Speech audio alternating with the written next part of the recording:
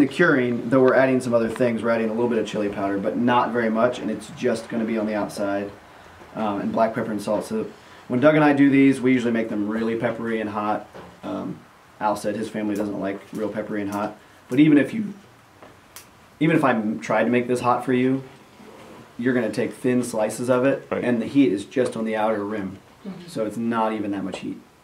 Um, so don't be scared about chili powder, or even if I had cayenne in here or red pepper flake, it wouldn't matter. So the curing process is the same. It's going to go in here. Jonathan did a nice job um, trimming it. I'm just going to tap, pat out a little bit of that blood.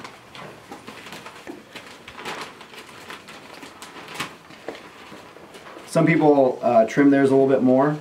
We usually go on the left side to make a nice big hunk of meat. Um, and then after this is cured. Uh, it needs to be hung to dry out because you're going to eat this raw. Well, traditionally it's eaten raw. I guess you could cook it if you wanted to. Um, and then it's going to be hung to dry, and usually the drying time um, around a month or more. And we usually weigh ours after the curing time. So after we take this out, we would weigh it again. And after it loses like 40% of its cured weight, then it's time to eat it.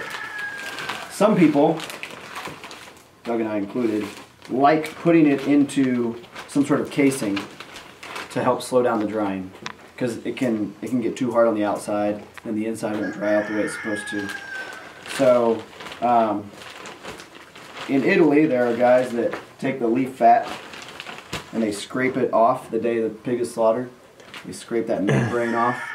And that membrane they would use after this is done curing and they would wrap around it and stitch it up a little bit so it would have like a protective coating. Most people nowadays, because that is a very old thing to do, and most people don't have access to full sheets of that stuff. Uh, it's called pelletasunia. Since they don't have access to it, they'll buy something called a beef bung, which is just the the cecum out of a cow. Um, and they would, and I can tell you where to get one if you want to do this. Um, and then they would stuff it in there and then truss it, tie it up. And you probably have seen like cured meats that have like almost like the woven netting around Yeah. them. That just helps it hold its shape, and it actually puts a little bit of pressure on it to make sure that the inside moisture is getting Squished out. squeezed a little bit. Not, I mean, not like squeezed out, but it puts pressure on it. Yeah. And so after curing, you can leave this on here, like all the cure on it, because it's not going to look like this when it's done curing. Um, stuff it into that beef bung. And you have to take a video of that because that'll be funny. Um, uh, and then uh, you would truss it. And there are videos online about how to truss some of these things. We can't do it today because it's not ready. Um, and then you would hang it, you know, up there. Somewhere where there's air movement is the main thing. And humidity is good, especially initially, because if it's too dry where you hang it, you'll still get what's called case hardening, and the outside will dry too fast, and the inside won't dry the way you want it to. That makes sense? Yeah. So those are these basic small whole muscle cures. I'm gonna need someone to go down to the fridge and get the prosciutto out, and we'll do that one next. Good morning, Modern Steaders. I don't know about you, but I've been loving this video series from processing the pigs to cutting them up, now to curing them. Oh, it's been so great. Been learning a ton. We've been able to smoke the bacon after we cured it. That was delicious. Right now, we got the coppa in the refrigerator. Let me get that out and show you. Oh, this thing is beautiful. Got this curing in the fridge. Wish you could smell it. It smells perfect. Still in the bag. It's hard to see, but it's a thing of beauty. Rub it down. Put it back in the fridge. Refrigerator smells delicious because after we smoked all the bacon, I stuck it in the fridge for a day to let it stiffen back up so I could cut it into nice thin bacon slices. So every time I open that refrigerator, it smells like bacon and I love it. Watching the video has been great. It just brings back so many memories and reminds me of all the things I need to do. Which right now, let's go get out some belly from the pig.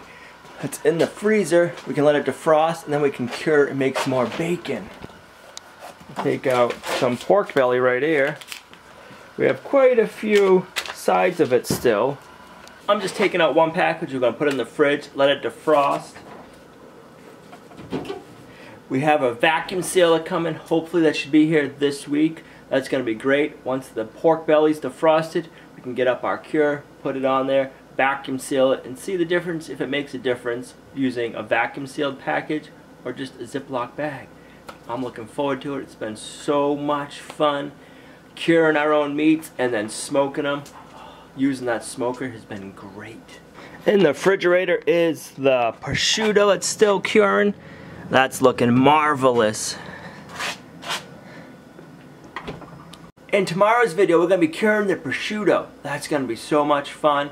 I got to get my root cellar built so I can hang up the prosciutto and the coppa. I ordered a beef bung and that came in. Let me show you. I haven't opened it yet.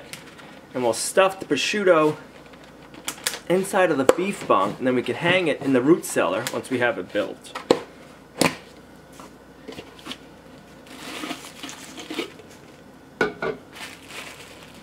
There is one long one it looks like in here, maybe two salted. We're going to let this sit in water and let it rehydrate before we use it. But we're going to store it in the refrigerator for now. And when we need it, we'll have it.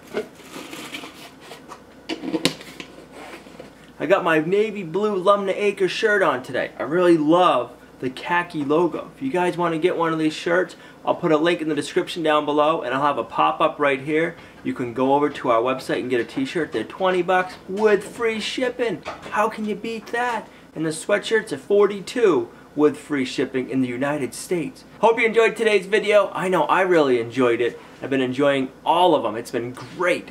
We'll see you right back here tomorrow where we'll be curing the prosciutto.